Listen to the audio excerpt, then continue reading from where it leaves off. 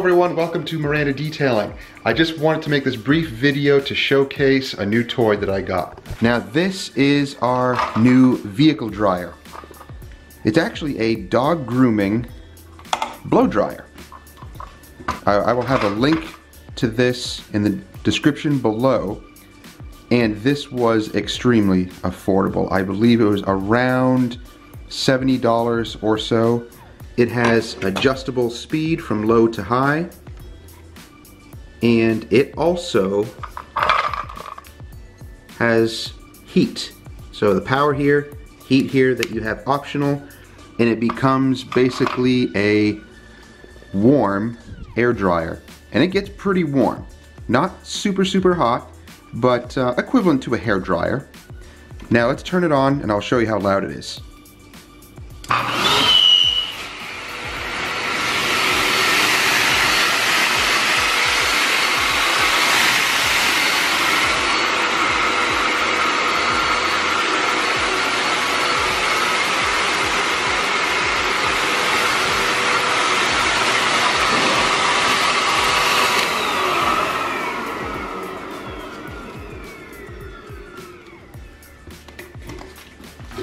Now the cool thing about this little dryer is this hose expands and it's not really that loud. That little squeal you heard is the nozzle here when the air first flows through it, it, it makes that little squeal.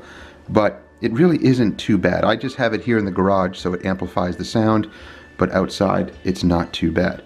Now I built this little cart for it so that it can wheel around kind of a makeshift little wheelie cart for it, but it can move around without tipping over. And mm-hmm. Yes okay yes. And there's a filter back here that can be replaced and cleaned.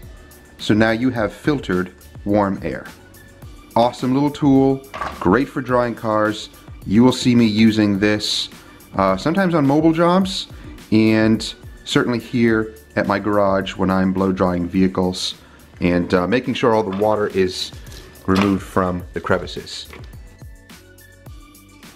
Definitely something to invest in. It's not really that expensive. It's not like those really expensive um, Metro Vac in blows or the Master Blasters. Those are nice, they're very powerful, but very expensive also.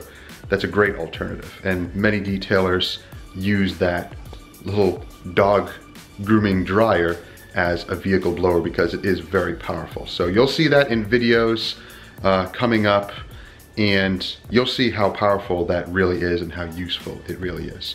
So I hope you enjoyed this video. Please give it a thumbs up, give it a like, share it with others who may be interested. Definitely look below to the description. I have many links down there to Amazon where I purchase a lot of my products and tools from that. So definitely check those out below. And also subscribe if you haven't already. Click that little bell, that way you get a notification each time our videos drop each week. I'll see you next time. Take care.